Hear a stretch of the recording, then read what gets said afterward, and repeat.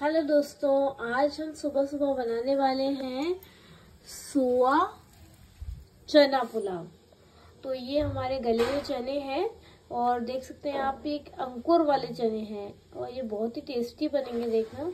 इसके लिए हमने टमाटर काट लिए हैं, शिमला काट लिए हैं और ये चावल हमने भिगो लिए हैं जिससे कि जल्दी बन जाए। यहाँ हमारी ये सुआ गर्म हो रही है। तो चलिए स्टार्ट करते हैं हम किस तरह से इस सोआ पुलाव को बनाएँगे। आ, तो दिखाते हैं पहले हम इसको बॉईल कर लेते हैं।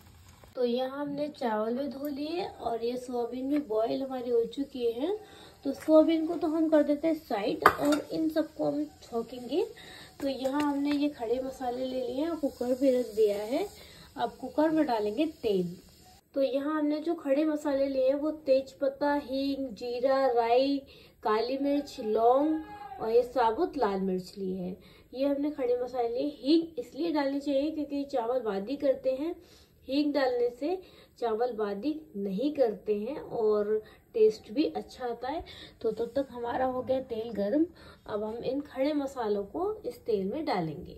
तो तेल हमारा गर्म हो चुका था। तेल में पहले हम सोयाबीन को फ्राई कर लेते हैं।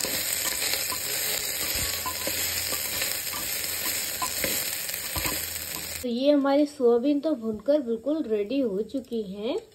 और देखिए कितनी कुरी ये क्रंची सी कुरकुरी टाइप की हमने भुनी है। अब यहाँ ये हमारे खड़े मसाले हैं। और अब हम इसे इसमें डालेंगे, तेल हमारा गर्म हो चुका है।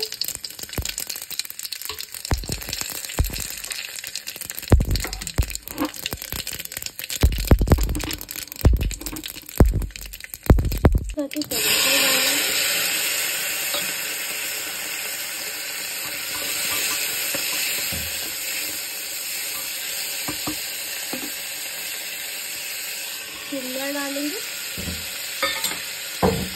और चने को डालेंगे इसको मिक्स करेंगे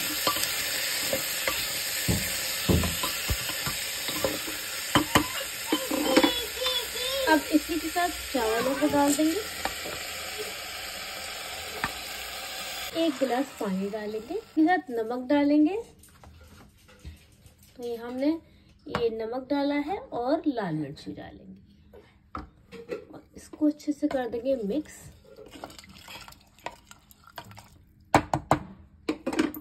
और अब इसको कुकर को ढक्कन बंद करके रख देंगे तीन सीटी आने के लिए।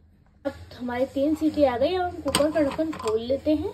तो यहाँ हमने कुकर का ढक्कन खोल लिया। आप देख सकते हैं कितना अच्छा पुलाव बना है हमारा। अब इसी के साथ हम इसमें सोयाबीन डाल देंगे।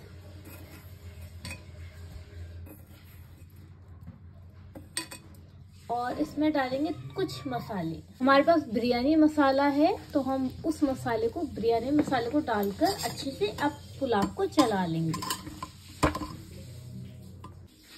तो लीजिए तैयार है हमारा ये सोआ चना पुलाव।